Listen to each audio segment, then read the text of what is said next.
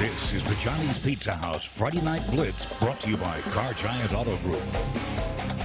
Welcome back to the Friday Night Blitz. Even though Parkway lost tonight, their running back Jalen White was a big reason for their Week 2 win. He's our Player of the Week, presented by Marketplace Chevy.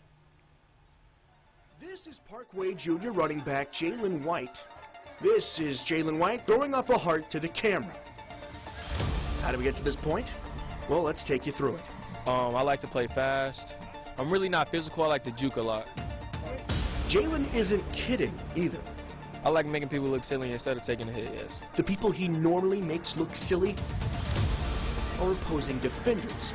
Friday night against North DeSoto, White was at the height of his powers. Friday night was kind of weird. You know, we didn't really uh, didn't really realize what he had until after the game. And what White had was mind-boggling. 321 yards and four touchdowns, one of which was pretty hard to comprehend. And you go back and watch on film too, and, and y'all had a good shot of it. He never slowed. He never slowed down or stopped. The guy kind of slung him, and he was able to put one hand on the ground, roll over the kid's back. And he just kept going full speed. I just knew he didn't tackle me because I didn't hear the whistle. So I just bounced off of him and started running to the touchdown and I scored. White is responsible for almost 500 yards of total offense through just two games. And after seeing Jalen's offseason, his head coach isn't the least bit surprised. He's able to take something bad and make something good out of it. You know, he's just so fast and uh, has good vision, and, and really and truly, the weight room's paid off. The Panthers are 2 0.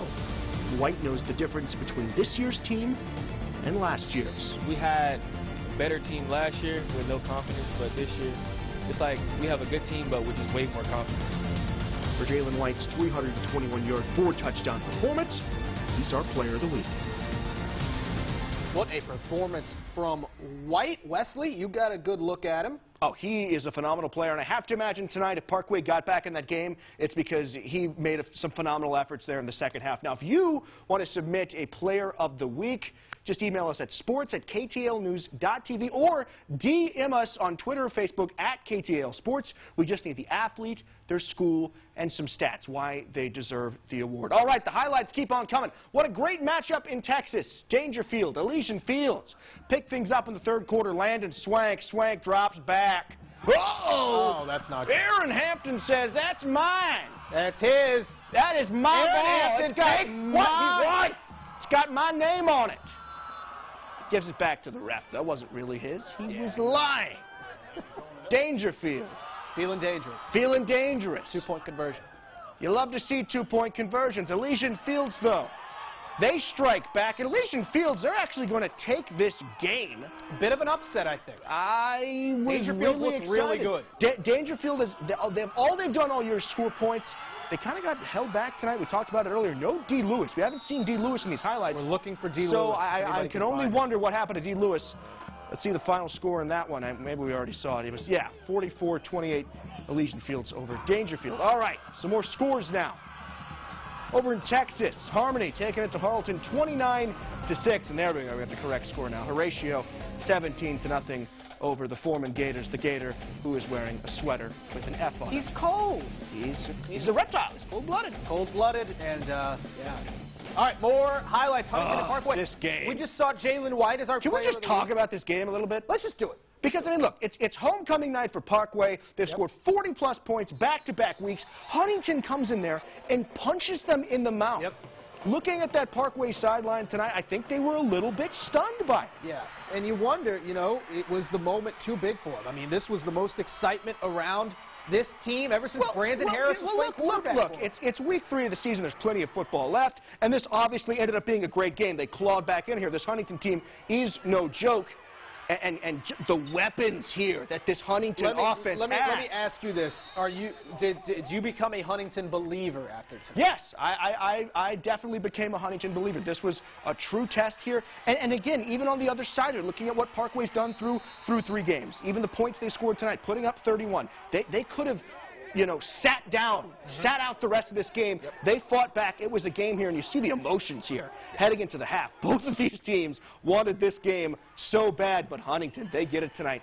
38 to 31 over Parkway. And look, it's week three. This felt like, my goodness, week 10. Like there were stakes attached to this game, and there was bragging rights. All right, moving on. Some more scores. More scores now. We head to Oklahoma and Louisiana. The Broken Bow Savages, savage over Kingston tonight, 30 to nothing. North Caddo, tough loss to North Webster last week. They take out their frustrations on Bolden, 50 to 14. Union Parish and Captain Shreve. We pick things up in the third. It's 15 to 7 Farmers. Another top. one here. Let's just kind of talk about it a little bit. I mean, it's the third quarter. You're down to, I mean, this Union Parish team. They're one of the toughest teams in the state. Yeah. They look like a college football team. I, I would be shocked if they're not in the dome at the end of the year. And they've already taken down Many. They've already taken down Airline in relatively convincing fashion. Yeah. It looked like they were on their way to beating Captain Shreve tonight, but you see right there, the penalties. That's what kept Captain Shreve in the ballgame. And give Captain Shreve credit. They took advantage when they had their opportunities. Kendrick Law here scores the game tying touchdown. And the Gators, they become the first team to beat Union Parish. And look, just, just kind of seeing here, this is a Union Parish touchdown that gets called back on a, on, on, a, on a holding penalty. Mm. And it was just kind of missed opportunities for this Union Parish team tonight. You know, you hold them to a field goal, then you rough the kicker, you score an 80-yard touchdown, then you commit a hold.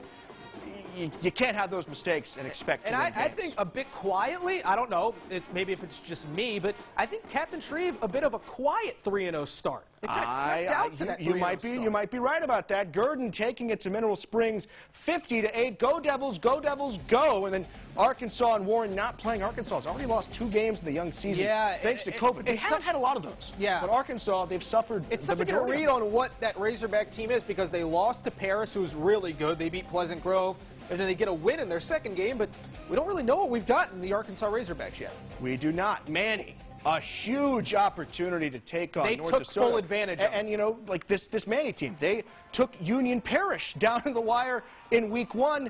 You, I love what Coach Curtis is doing with this program, especially in pre-district, scheduling tough teams, saying we want the smoke. Give me the smoke. We're going to go on the road. We're going to take on a tough 4A North DeSoto squad, And we're, we're going gonna hit them in the mouth. 50. And we're going to hit him in the mouth. Um, on the other side of that, you know, this this North DeSoto offense, they've scored 21 points 21 points in through three, games. Um, so, you know, something's got to give here. We'll see the adjustments they make as we start moving towards the middle part of the season. 50 to nothing the final there is that is just a huge huge surprise as we take a look at some more scores DeKalb this is another huge surprise DeKalb has looked as good as any of our Texas schools so far they get blown out by Sabine tonight 48 to 7 and James Bowie the Pirates they get the win 24 to 9 over Linden Kildare all right, back to Independence Stadium we go now. Woodlawn. Let's just keep this trend going. We talk about the games. You gotta, you gotta be happy for old Chili Bowl Harris. Coach. Uh, don't? Coach Cedric Harris and his, his Twitter username, Chili Bowl.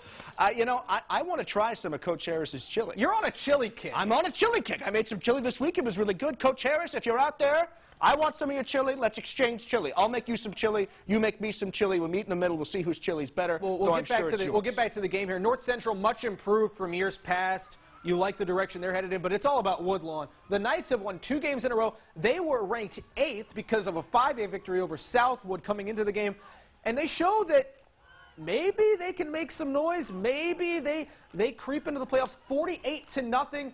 Things headed in the right direction for Woodlawn. We'll see what happens once they get into district play. And they play in a tough district. Selena over Paul Pewitt, 42 to 6. The Brahmas falling tonight. And Prescott, 49 to 13 over Hope Prescott. All they do is score points, And all they do is win so far. and all they do is win. no matter what. Let's keep it moving now. Back to Texas. Gilmer, they've been dominant, taking on Lindale tonight. Second quarter, Lindale's ball. Sam Peterson. Peterson got to find number 24. Look at him go. Spinning. Good Lord. Someone lost some equipment there. Ah, it's too bad. You hate to see that. It's probably like a $50 towel or something. Yeah, Brandon Tennyson's been unstoppable for Gilmer. He's probably got like 15 total touchdowns already. He has been incredible through four games. Gilmer, The flag people for Gilmer get more screen time than most of our teams. they do a great job. They we do have a to, great We have to highlight what they do. And, look, Lindale Yeah, fighting they- they- in this one a against a really good Gilmer team. Final score in this one, Gilmer, they end up hanging on. We get the I- 49-35. 49 35. That's what it was. Speaking of scores, let's take a look at some more scores. There Valiant they are. falling to Coalgate last night, 40 to 6. And then here in Louisiana, Rayville over Lakeview 32 to 6. Yeah, Lakeview couldn't build off that 40 to nothing win last week. They they. So we go to some more games now. Grace and Tenaha. Tenaha looking to bounce back from their loss a week ago, taking on Grace. Now we do not have a final from this one. I just want to I just want to foreshadow that, but we do have highlights, and that's that's half the battle. Well, imagine playing the concept of Grace. I don't even know if I want to win against That's Grace. uh, everybody's excited. Guys throwing up a heart to the camera. I do know Grace was up in this one. Yes, they were because At one point, I think it was 13 to nothing. Tenaha was fumbling the ball. As uh, we'll keep working on a final for you, as you get a nice look at the Cougar there. And then, how about Will Bozema keeping it himself for the touchdown? We'll keep working on a final for you, and if we'll, we'll keep you updated. It's the only final that we are missing That we don't have so far. so far tonight, so we will we will keep you posted. Alrighty, How about a so little Thursday football? This is a new highlight for you It on the. Friday Night Blitz. We haven't seen this one yet. Waskom hosting Arp. It's already 7 0 Wildcats. We've got a fourth down deep in enemy territory. Why not pitch it to DJ Feaster? Feaster makes this look easy, just walks in for the score 14 0 Wildcats in the second quarter. Unless you think Feaster was done, no, sir, he was not. Feaster earning his paycheck. Going to take the option pitch here. He takes it all the way for six. A 50 yard score for Feaster. Feaster, dynamic, getting it done from all over the field. And the Wildcats.